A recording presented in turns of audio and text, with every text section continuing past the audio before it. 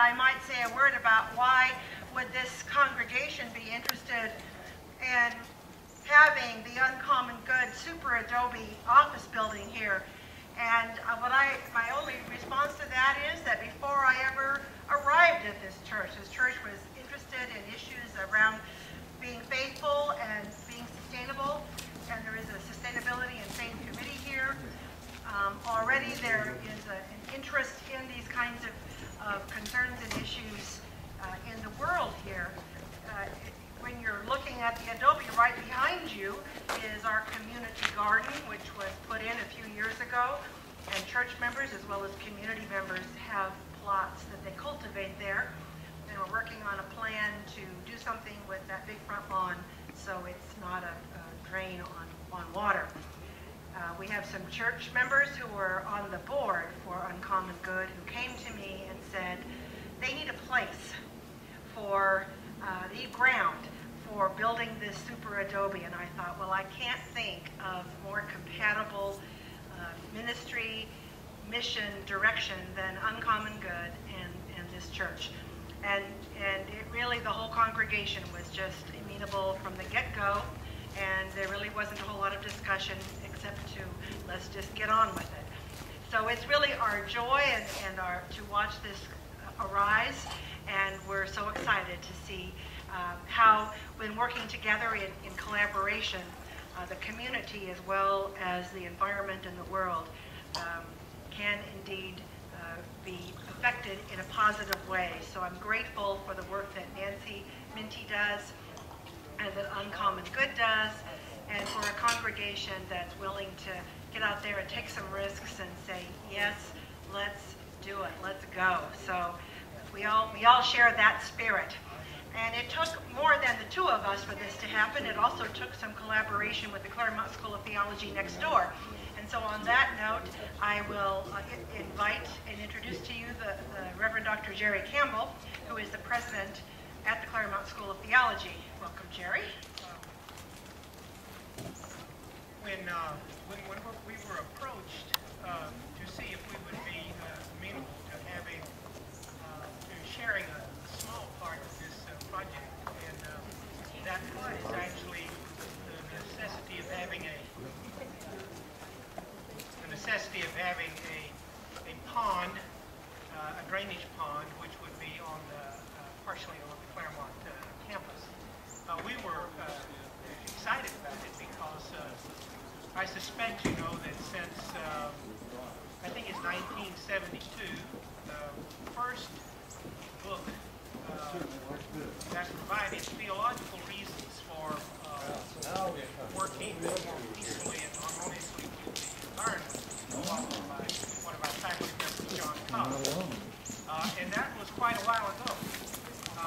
I think, in fact, um, if we had listened to uh, what uh, John recommending in those days, we would not have brought ourselves to current, uh, what I, I guess I'm, I'm with uh, Bill McKibben. We have, we have achieved a certain state of deg degradation uh, in our uh, environment. and it's, it is not clear exactly whether that can be rescued. Um, our position at the School of Theology is, is a simple position, and that is that it's, uh, it's, not, it's not enough to think about what others should do about, uh, or what we as a country should do about our environment, or what we as a world should do about our environment. The way to approach it is for us to start as individuals. Uh, and uh, each of us can do something. And so it was, it was an easy, uh, an easy decision by the School of Theology to think this is something that we can do. Just a little, just this, just this drainage pond on the, on the upper end of our campus. But if we all do a little, uh, we can at least slow the rate of degradation. And perhaps, uh, if there's going to be a, a way of rescue, uh, it's going to take each of us doing something. So we were pleased to be uh, asked to, participate in this project, and um, we're, we're excited to see it uh, coming up we have a long and uh, altogether mutually beneficial association with Claremont United Church.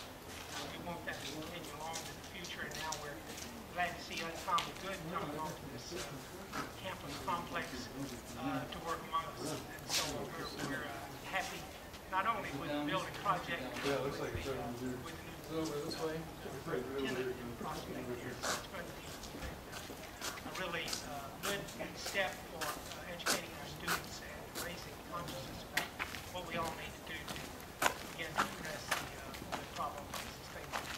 Thank you very much, and uh, uh, it's with great, uh, great pride that we participate from the School of Theology in this project.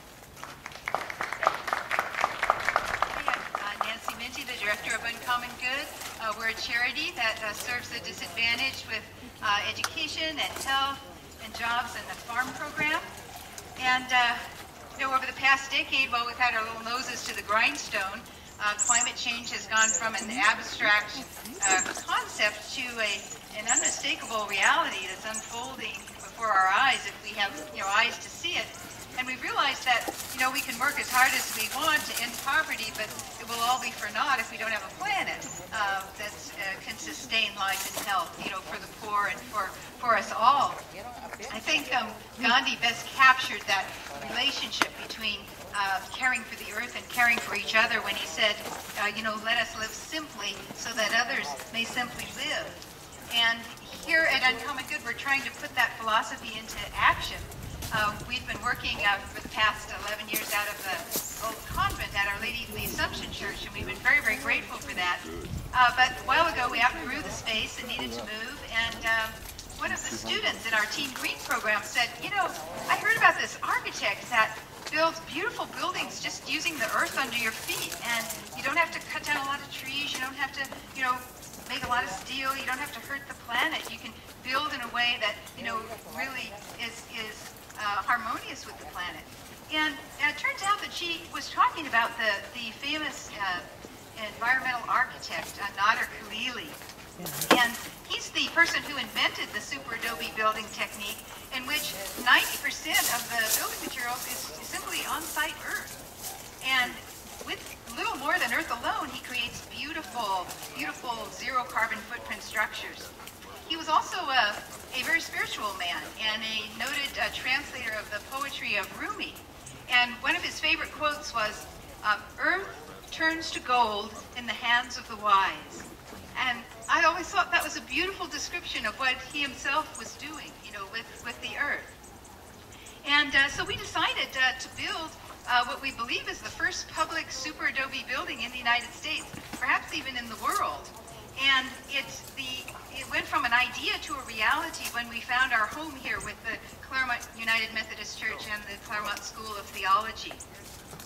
And now when I see this building, you know, rising up out of the earth, I, I myself, I'm, I'm, filled with hope. And I, I look at the beauty and the utility that we can create simply working together with the most humble of materials, the humble soil.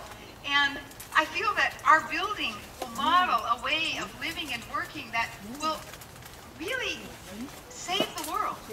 And we'll be saving the world because we'll be living and working within the limits of our natural environment, which in a nutshell is what we need to do um, to save the planet.